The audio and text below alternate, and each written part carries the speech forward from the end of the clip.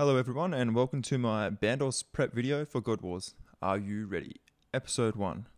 This video I'm pretty much going to cover things like your gear, your inventories, brief strategies and pretty much all of it is just little reminders to make sure you've got it for when God Wars is out.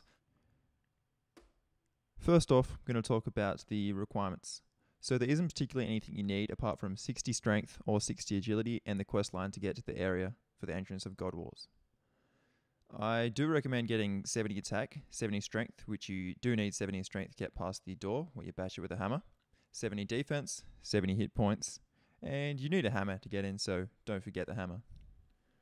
90 combat stats is probably more preferable, including 90 magic for the defense, but that's really up to you. If you guys want to spend the time to put the effort in, then you'll get more rewards, especially against getting crashed by people in Void.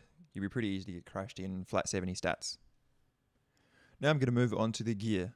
So this setup you can see here is the, you know, just the casual defensive attacker. So you're not sacrificing much defense for strength there. You could do uh, like void in that, which I'll show soon, but that is the general, I guess, setup there. Uh, you could use a Rune Defender. There is a lot of different setups, and I'm not going to cover any welfare setups, but they're really just preferable. So that's just ragging it using crappy gear. The next setup I'm going to talk about is Void Melee. Now, in the picture, I don't actually have the Void helm yet, so just just think that's a Void helm. Um, yeah, that that that's a Void helm. so using Void, you're definitely going to do a lot more damage, and it's going to be a lot better for I guess anti-crashing or if you're going to crash people. Um, you don't really sacrifice any magic defense, so that's a plus, but you do sacrifice a lot of other defensive stats. So just keep that in mind. Um, it might be good, like especially in a free for all mass. I'll definitely be avoiding it. So now I'm going to talk about the tank setup. Now, the most common tank setup that used to be used, like back in the day, actually, like 2007, 2008, like around that time, I was Guthans. Now, this was done by Guthan healing on the mage minion when he needed health most of the time, because I believe it had less defense was the reason for that. Um, when you do have full HP, you can just leave your Guthans on, just keep whacking it and hope you heal up.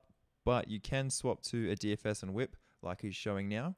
Um, it does increase your defense by quite a lot. Now you can see they are magic defense is still relatively low, so you are going to be getting owned by the mage minions. So I guess that's another reason why you could maybe kill it. But it does spawn pretty quick, so I don't know. Uh, you could use a Ring of Life, but I guess that would be more in a, a welfare setup. Um, but it's all personal preference. If the imbued rings do come out, then definitely an Onyx Ring Eye.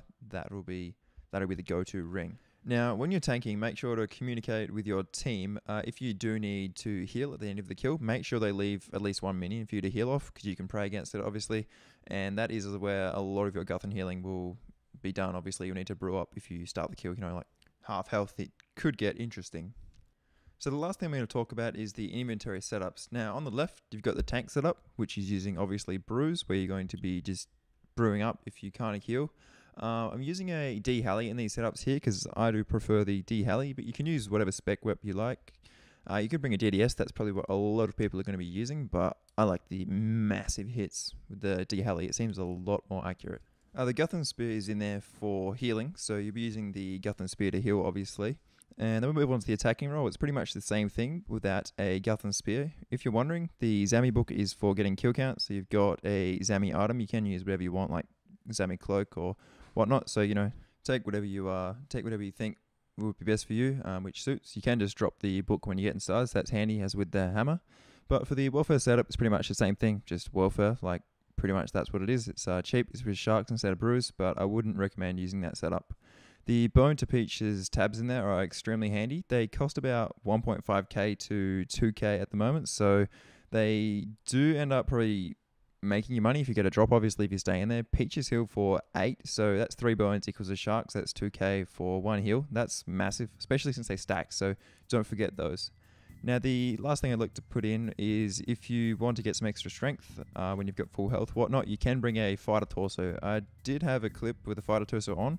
but it's exactly the same as the first setup I showed for the gear, where it's just the uh, the Karil's top. So yeah, that's all for the prep vid, people.